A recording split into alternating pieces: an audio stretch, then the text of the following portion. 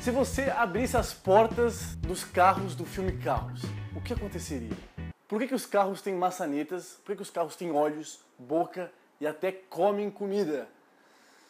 É, fica aí que eu vou te contar uma grande e incrível teoria sobre o filme Carros.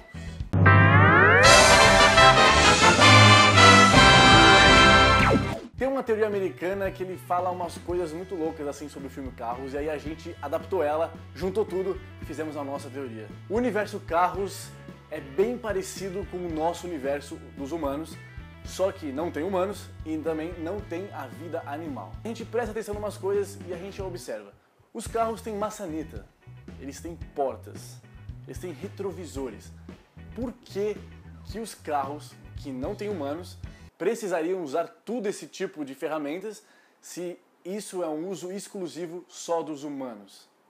A gente também pode observar que os carros eles falam e não falam só uma língua normal, eles falam várias línguas. Inclusive naquele filme dos carros 2, naquela corrida lá que tem vários participantes de várias partes do mundo, várias culturas, vários idiomas. E em um curta-metragem dos carros em que o Mate ele veste um figurino, ele usa um chapéu, então não teria por que como é que os carros, se eles fossem só carros, como que eles iriam saber todas essas coisas, que existe figurinos, que existe comida, né? Se os humanos nunca tivessem existido no universo dos carros, não teria por que os carros terem todo esse tipo de ferramenta que eu acabei de falar. É um pouco parecido com a teoria da Pixar, que fala que os humanos viveram junto com os carros, depois eles foram embora, e aí depois chega a parada do Aui lá. Essa teoria é um pouco além da teoria da Pixar. Um fato também muito importante, muito curioso, no filme dos carros a gente vê que tem escritas. É, ao longo do filme a gente vê que tem coisas escritas. E é a nossa escrita. Não teria como um carro escrever daquele jeito. Se eles tivessem a própria linguagem, se eles tivessem a própria escrita, eles mesmos iriam criar alguma forma de escrever com as rodas, né? Porque não daria para escrever com lápis com a roda. Então seria mais alguma coisa, algo parecido como símbolos para eles se comunicarem. Mas não, é a mesma que a nossa. Isso já é muito estranho. Então a pergunta mais importante desse vídeo: o que aconteceu com os humanos? Por que eles foram embora? Aonde eles estão? É, segura aí, porque o que eu vou te falar é algo surpreendente, algo que vai revolucionar a sua vida e você vai ficar, nossa, meu Deus do céu. Então, o que eu tenho para dizer para vocês é: os humanos são os carros. Ou melhor dizendo, os humanos estão dentro dos carros. É, eles estão dentro do Mate, dentro do Relâmpago McQueen, dentro de todos os carros do filme. Caraca, nossa! Eu fui enganado a minha infância inteira, achando que o carros era somente carros, porque eles teriam vida própria, mas não! Tem humanos dentro dos carros. E isso a gente não sabia. Caraca, a nossa infância foi. Nossa.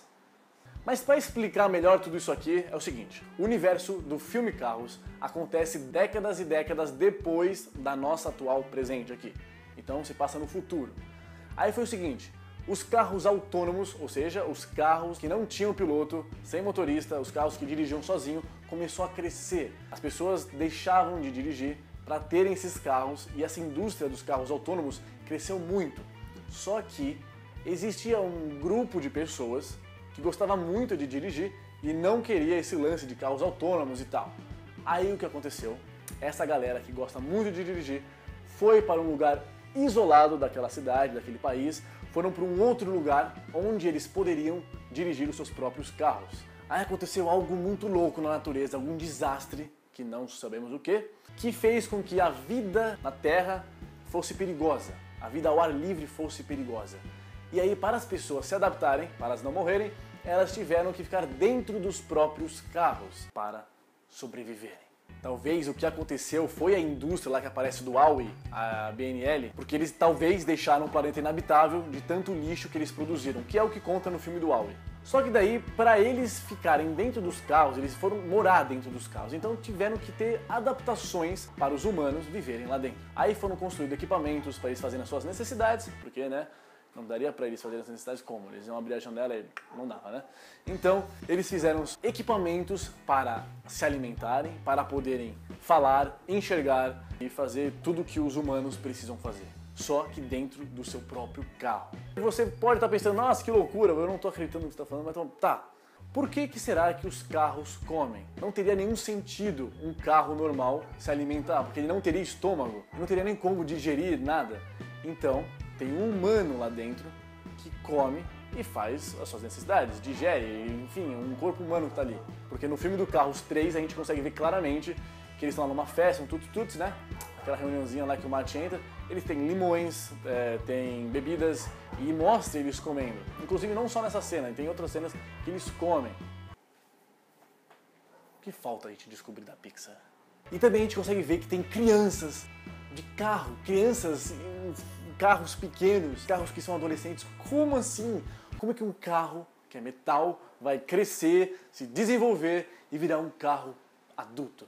Não tem como o metal crescer, não tem como. Então o que a gente acha é que quando a criança ela consegue assim uma, ela chega numa certa idade, ela é transferida para um carro maior e assim vai sucessivamente. E o que representa demais essa teoria é essa imagem que você está vendo neste momento. Toda a parte é, estruturada de como que um ser humano consegue ficar dentro do carro e fazer tudo o que ele precisa fazer e continuar vivendo de boas. É, mais ou menos de boas, né?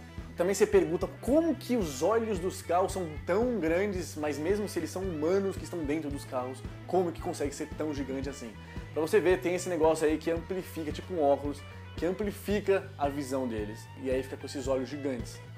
Essa é a teoria dos carros. Tem uma outra teoria também que a gente vai falar mais pra frente aqui no canal. E o que, que você achou dessa teoria maluca, maluca, maluca, maluca?